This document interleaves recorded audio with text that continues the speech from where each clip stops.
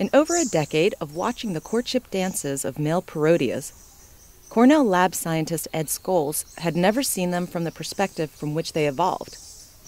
In fact, nobody had. Every description and documentation of these dances had been observed from the ground. Nobody had ever viewed them from the branch hanging above the display court, from the female's point of view. In other words, nobody has fully understood what female parotias find so attractive about the male's dance. On their 18th and last expedition in New Guinea, Ed and Tim Laman used new technology and a new strategy to get above the display court of a male Wahnes's parotia and capture the first glimpse of what a female parotia sees from her perch. Doing so required a little ingenuity, thorough planning, and a considerable amount of patience. Male parotias pay remarkable attention to detail when building their display courts. They clear away all of the ferns, small saplings, and leaves to open up a space on the forest floor. They trim away leaves from overhanging limbs to open a pathway for the sun, a natural light source for their dance court.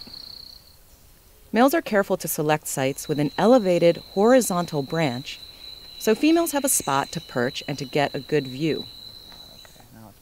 Ed and Tim had to employ their own engineering design to capture this perspective. This diagram shows their plan. Three cameras set up to simultaneously record the dance from multiple angles.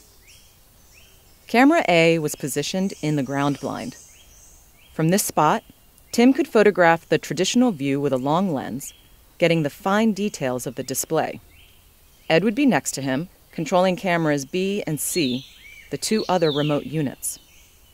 Camera B was concealed off to the side of the court with a wide angle lens to get a view of the entire scene.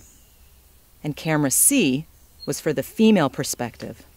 It was deployed in a tree 10 feet above the court with a line of sight directly down to the female's perch and onto where the male would dance below. Each piece of gear had to be installed when the birds were away from the display court.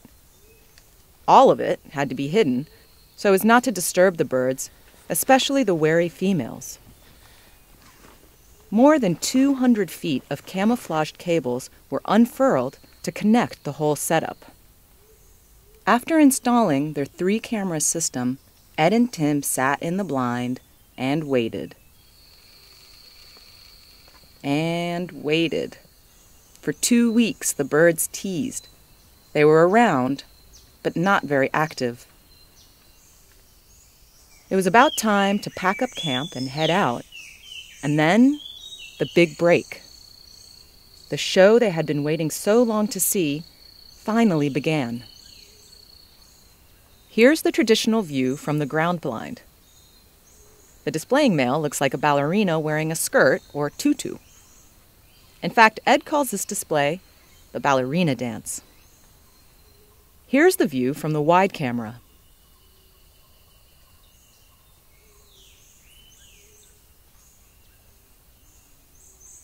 And here's the view from the female perspective.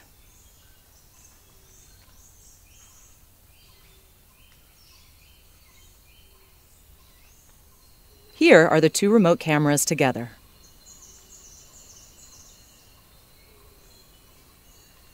While Ed knew the female perspective of the male's display would be different, he never dreamed there was a totally new discovery waiting to be uncovered. By observing the male's courtship dance from above, a relatively minor patch of iridescent feathers on the back of the head comes into view. To the female, this appears to be a visual cue tracing the side to side head movements, which would otherwise be invisible against the velvet black backdrop created by the male skirt. Until Ed and Tim saw their video, they hadn't understood the significance of this little ornament. In a single moment, they had captured a unique insight into the forces of sexual selection that drive the evolution of the birds of paradise.